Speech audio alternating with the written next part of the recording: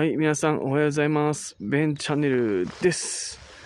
えー今日は5月28日日曜日、えー午前6時45分ですね。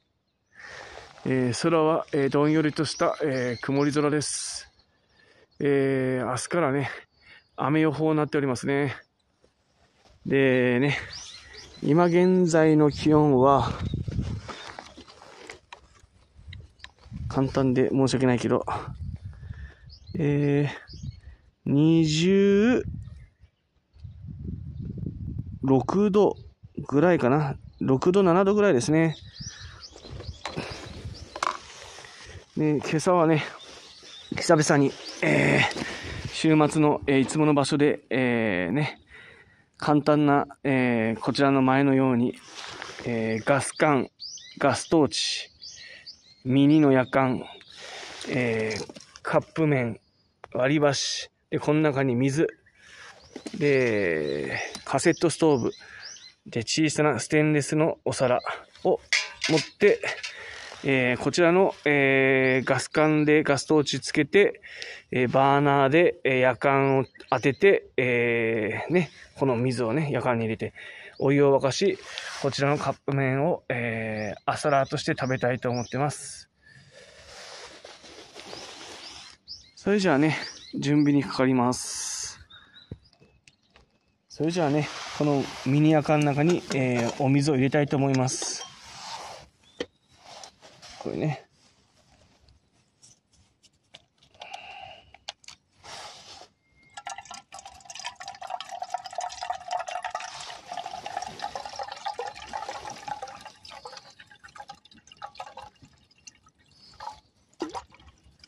このぐらいでいいかな。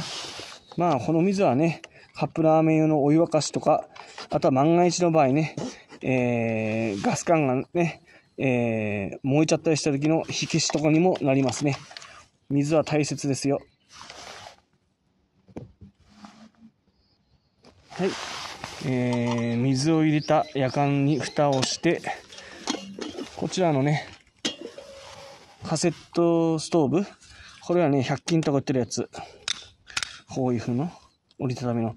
まあね、キャンプとかね、まあね、そういう時に使うよね。あの、こちらパカッと開けて、ちょっと硬いんだけどね。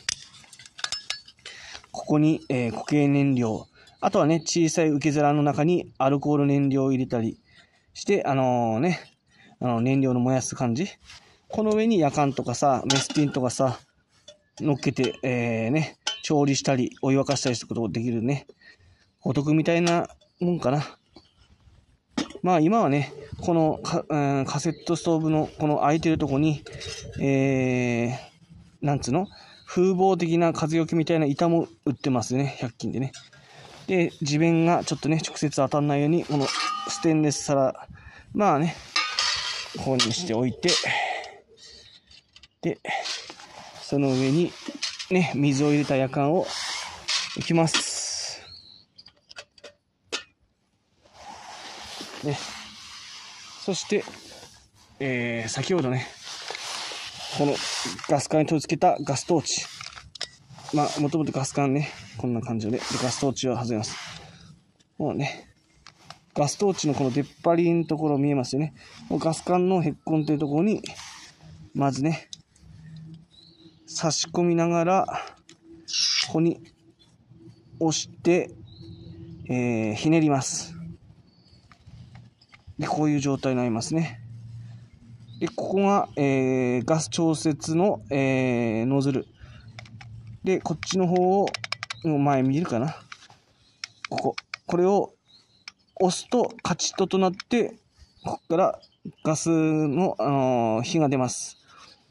まあね、もう、このガストーチは、自分、自分使い込んでんで、ちょっと危ないんだよね。こう引火しちゃって溶けちゃったりとかしてるんで、本当は新品のを使いましょう。はい、それではね、こちらのね、ガストーチを使って、えー、ね、水を入れた夜間を、えー当てながら、えー沸かしていきましょう。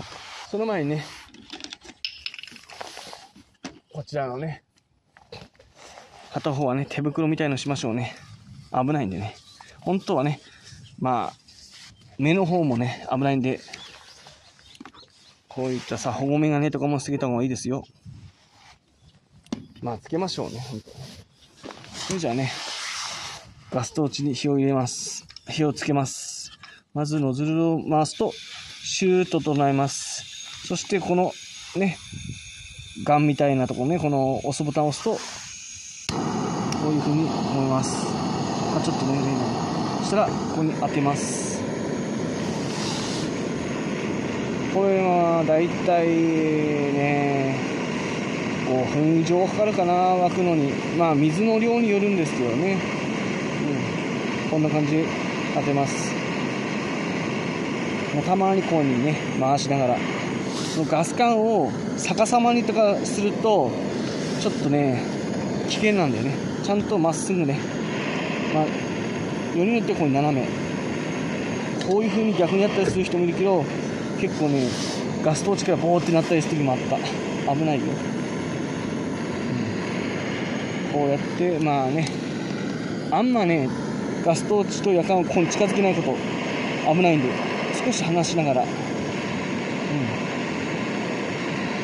こうやってと、ね、まあしばらくこんな感じなんで少々お待ちください。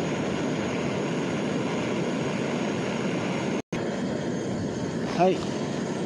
今はねちょっと時計見えづらいけどえー、6時55分たち6時55分かな？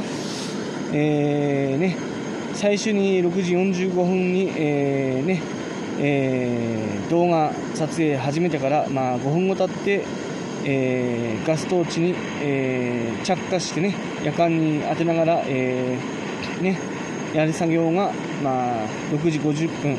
今5分ぐらい経ちました、えー夜間の口の方からね見えるかどうか分かりませんけど、えー、が出てきました。やっぱガスだと早いよね。見えるかどうかな。この辺から有名になってると思うけど。そうだね。こういうふうに真横よりこの夜間の斜めのとこ当てると裏の方からこういうふうに湯が出やすいんですよ。見えるかな。まあ大体ねもう大体湧き始まってきたよね。うん5分。まああと5分ぐらいこのまましておけば湧くと思います。まあ大体10分ぐらいだと思ってください。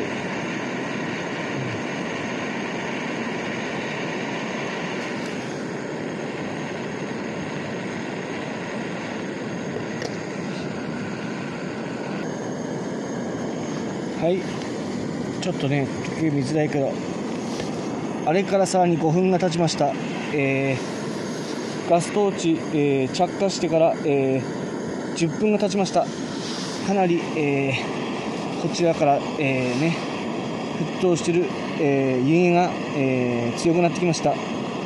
夜間自体も、えぐらぐら揺れてます。もうね沸騰近いです。もうほとんどもう沸騰してると思ってます。こんな感じにね。まあ完成ですね。かなり湯気が出てきたんでこんな感じで。それじゃあね見見えるかな？この辺見える？もう完成ですね。よし。それじゃあガストーチの火を消します。これはやっぱりここのノズルを逆に戻します。時計回りですね。はい、消えました。じゃあガスを置いていきます。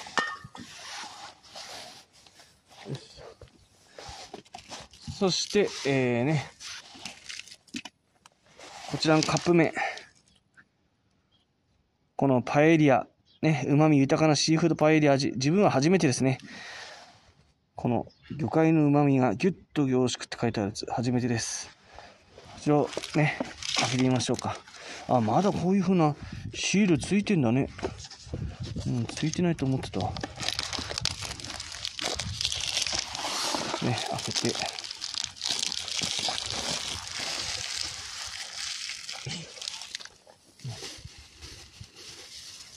ちらを半開きにします。こんな感じだね。見えるかな。まあ、見た目はシーフードの具と似てるけどね。ちょっと粉みたいなスープの粉この辺赤いかな。うん。ね。じゃあそこに、えー、さっきね、ガストーチの火で沸かした夜間ね、こちらのお湯入れています。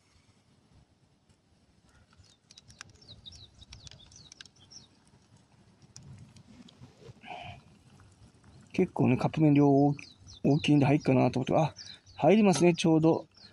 線のとこまで入りました。そして、えー、こちらは、えー、カップ麺は熱湯を入れてから3分と書いてます。このカップ麺のお湯の目安量は430ミリって書いてます。ちょっとね、夜間の熱の蓋にしておきましょう。それじゃあ、ね、ちょっとね、皿よけて、もうちょっとね、透明にして、あれかな。うん。それじゃあ3分待ちましょう。はい、それではね、先ほど夜間にお湯を沸かしたのを、こちらのね、えー、シーフードパエリア味の、えー、カップ麺を、えー、ね、開けたいと思いますね。それじゃあ、ね、熱湯3分入れました。ちょっと中見てみましょうか。オープンしてみましょう。よいしょ。こんな感じですね。ちょっとまだちょっと早かったかな。うん。あと1分か30秒ぐらい。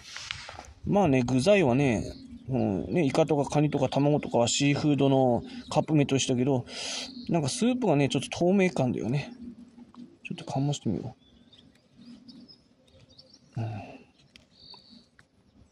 まあ、できてるね、麺もね、ちゃんと。うん。こんな感じですね。まあね、それじゃあね、初めてね、食べるね、えー、この旨味豊かなシーフードパエリア味のカップ麺をね、朝ラーとして食べたいと思います。まず問題はね、このスープだよね。うん、混ぜたらこういう風な、ちょっとね、透明からちょっとね、黄色みかかったような感じになってきた。ちょっとスープ飲んでいます。いただきます。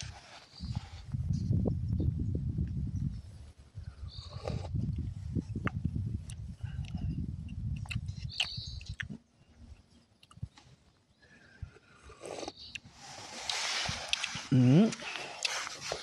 あのね、カップ麺の普通のシーフードあるじゃん。ああいうね、シーフードのしょっぱさはない。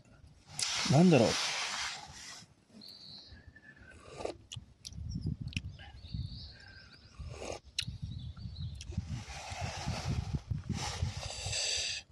シーフードのさ、カレーの味あるじゃん、スープ。まあ、カレーではないんだけど、その、カレーっぽい、超薄い味。うん、スープは。自分はね、そんな感じ。うん。もう一回飲んでみるよ。うん。まあ、カレーとは言えないけど、まあ、そのさ、ノーマルのさ、あのカップ麺とシーフードとさ、カレーだったら、うん、そのカレーを超薄めたようなスープの味？まあ、まずくはない。あとはまあ、この具材をちょっと食べてるね。具材は多分シーフードと一緒だと思うんだ。どれ？こういうね、卵とかみんな入れてるのはね。うん。卵も変わんない。味は。このカニカマみたいの。うん。カニカマも変わんない。あとは、あの、イカみたいのあったよね。こか行っちゃったかな？カニカマとか卵多いんだけど、イカがね、あんまないんだよね。あったあったあった。イカとこの野菜みたいのもね。うん。一緒。具材はね、シーフードのやつと一緒。このスープだけが、まあ違う。自分はどっちかっていうと、ノーマルのシーフード味の、その、しょっぱさの方が好き。うん。まあ、これはね、初めてなんでね、まあ、パエリアの味ってこんな感じなんかなと思います。麺は一緒だと思うけどね、ちょっと食ってみるわ。